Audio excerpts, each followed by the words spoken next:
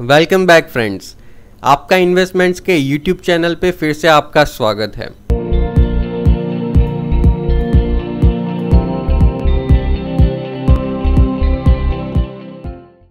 तो आज मार्केट ने वन साइड सेल ऑफ़ दिखा ही दिया।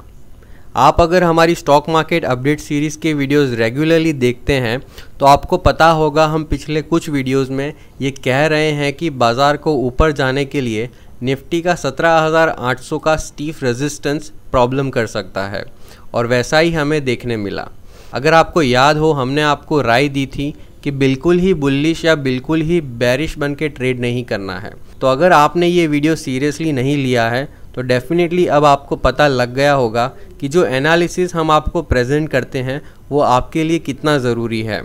देखिए, शेयर बाज़ार में कामयाब होने के लिए आपको हर बार सही होना ज़रूरी नहीं है। बस दूसरों से हमें ज़्यादा बार सही होना है। यही फ़र्क होता है 95 परसेंट लोग लॉस करते हैं और 5 परसेंट लोग कमाते हैं। अगर आपने हमारा पिछला वीडियो देखा हो तो आपको याद होगा, हमने ऐसा प्रेडिक्शन किया था कि बाज़ार में वॉलेटालिटी देखने मिल सकती है, जिससे आपको अपनी पोजीशंस ओवरसाइज नहीं करनी है। तो अगर आपने अपनी पोजीशंस ओवरसाइज की है तो आज शायद आपको रियलाइज़ हो गया होगा कि कितनी इंपॉर्टेंट जानकारी हम आपको हमारे stock market update video series में देते हैं। तो चलिए जैसे हमने जाना कि अगर निफ्टी 17,300 से एक सीधा 17,200 का मूव लेती है तो एक चिंताजनक बात है और ये आज प्रूव भी बाज़ार ने करके दिखाया। तो अब हमें थोड़ा कॉशियस होना होगा।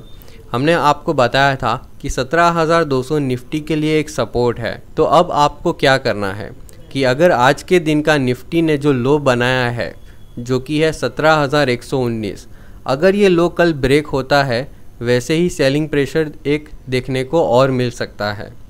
और निफ्टी हमारे सपोर्ट 17,200 पे बंद आई है। यानी शायद एक ट्रेंड रिवर्सल भी देखने को मिल सकता है।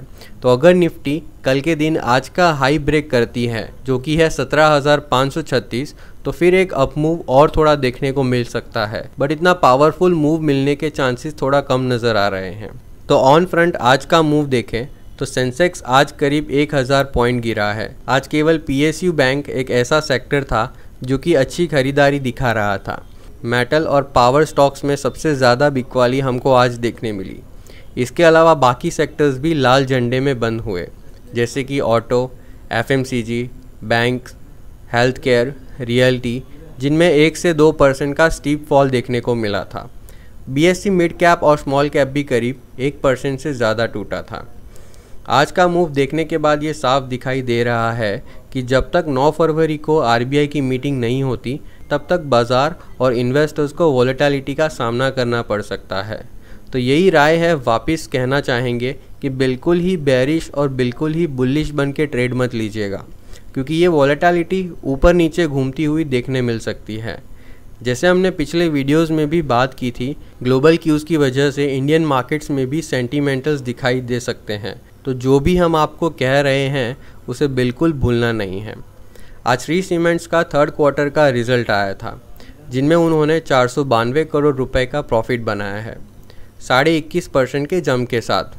अदानी विलमार कल के दिन लिस्ट हो सकता है। आशा है कि एक पॉजिटिव ओपनिंग मिले। मैं आपको बता दूँ, अदानी विलमार इंडिया की थर्ड लार्जेस्ट एफएमसीजी कंपनी है। आज साढ़े दस बजे के बाद न्यूज़ आई थी कि इंडिया में पहली बारी पिछले 31 दिन में एक लाख कोविड 19 केसेस हुए।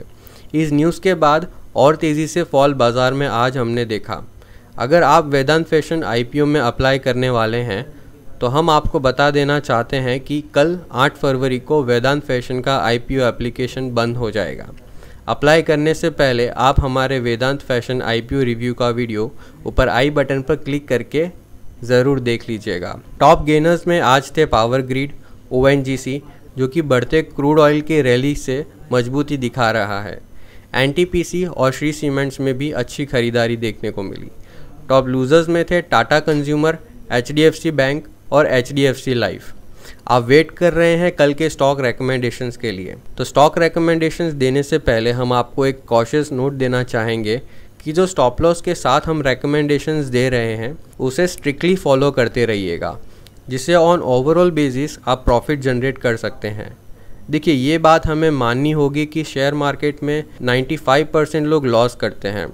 बट आप ये भी समझिए कि कितने लोग उनमें से बिना सीखे ट्रेडिंग करना शुरू कर देते हैं।